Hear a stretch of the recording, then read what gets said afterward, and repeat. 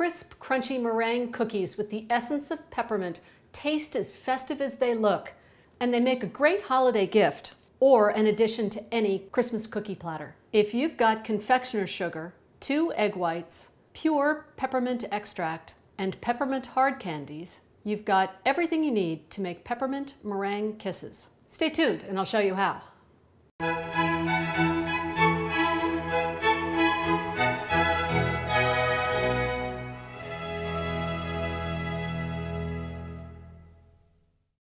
To get the meringues nice and crisp and dry, you're going to want to bake them at a low temperature for a very long time. So we'll start by heating the oven to 175 degrees. You don't want to go any higher than that because that will brown the meringues and we want to end up with beautiful, pale, crisp meringues. Next, you want to line a large cookie sheet with parchment paper. Next up, we're going to sift the confectioner's sugar. We want to make sure that we get all of the lumps out of this sugar so it incorporates into our beaten whites. In fact, I'm going to sift it twice. There we go. And now I'm going to divide this one cup of confectioner's sugar in half. That looks about right. So I have two egg whites from large eggs in a medium-sized bowl, and I'm going to use my electric handheld mixer I'm going to start on medium speed and I'm going to beat them until they're foamy.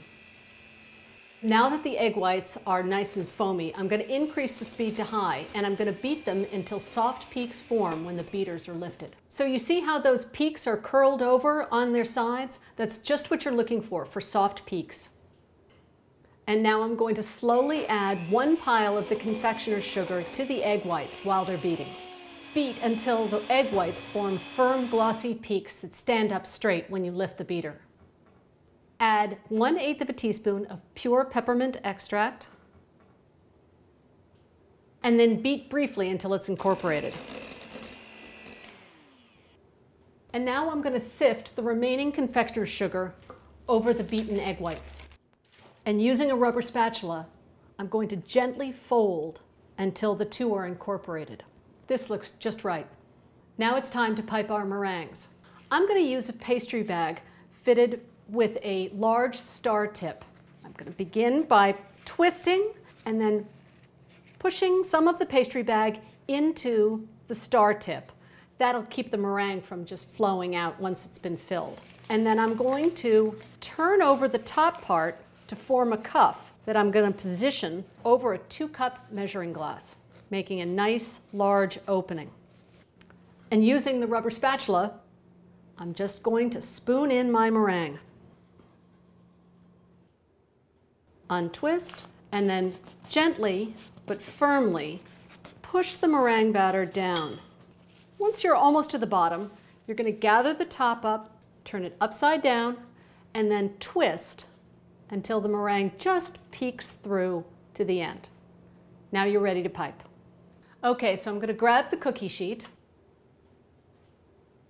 and then holding the pastry bag firmly around the top twist and using my opposite hand as a guide, not squeezing with my opposite hand, I'm going to position it straight over the cookie sheet and gently squeeze,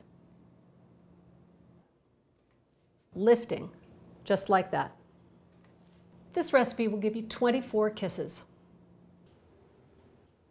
And then about halfway through piping, you're going to want to stop and twist the top so the bag remains taut. You can arrange the meringues close together since they're not going to spread during baking. And if you don't have a pastry bag, you can use a small two tablespoon cookie scoop to make small mounds instead of the kisses. Sprinkle over one third cup finely chopped peppermint candies. You want to give them a nice even coating. All right, these guys are ready for the oven. Bake the kisses at 175 degrees for three hours until they're dry, crisp, and pale. So it's been three hours. Let's check on the kisses. Yep, as you can see, they're still nice and pale, no browning at all, and they're not tacky. So I'm going to close the oven door back up turn the oven off and let them sit there in the oven for another hour. So when the kisses are completely cool, they're ready to serve. They should be dry, crisp, mm, and melt in your mouth, leaving behind that essence of peppermint.